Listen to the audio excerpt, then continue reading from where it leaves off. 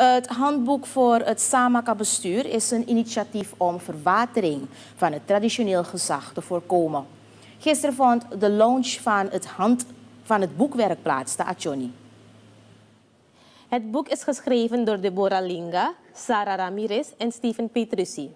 Het initiatief komt van Petrucci.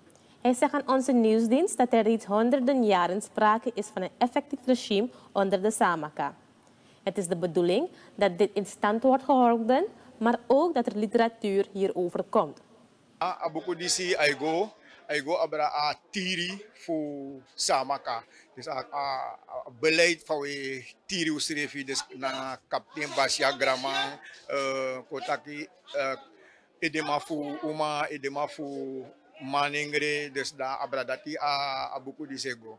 Dus kotaki a communicatie voor Srefi, dus van de bigis maar betir de de kondre, dat kan de inobe uh, dungru oso skoutu no de, dus maar ina fasfa auroko bende, de hondro hondro jari, maar toch den kondre no broko, maar toch ki besita kwa speciale respect bende. Dus da abra den pis disi a abuku etaki. Fade ma be kot trobi, san be be waka des e bigi trobi de, des fa beleid be be hand, hand, handel ina pis dati. Petrus zegt verder dat het idee om het boek te schrijven bij hem is begonnen.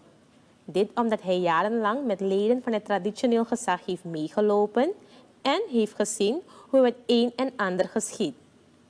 Ik ben een moeilijk uh, fasie, omdat ik heb nog schrijven nooit, maar in een boek schrijven, uh, de lesie maar voor mij ben les want to tra boek, dus voor want to informatie in want to de tra boek ook toe, maar grondpraak serie voor asansa misref ervaring abe de moeilijk want zo lees je in a in a in a in a pisi fu seta sans refi ibe ab watus de des mano be mandis mano be wani wat is apte bigita kanga suma wan me be bos do voorwerk di de student fu fu de student bika go na ko in den dorpu abe de wa ek tespa e de wel ma tok me be sita me be amo firi ta kai go om ba tok in de laatste tijd je sita gens ma be kan leveren de informatie De initiatiefnemer zegt dat enkele studenten hebben meegeholpen met het onderzoek dat aan het schrijven is voorafgegaan.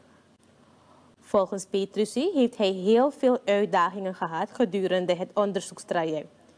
Hij stelt dat de doorlichting deel is van de historie van het Samaka-erfgoed dat gekoesterd moet worden. Het project is gefinancierd door de International Union for Conservation.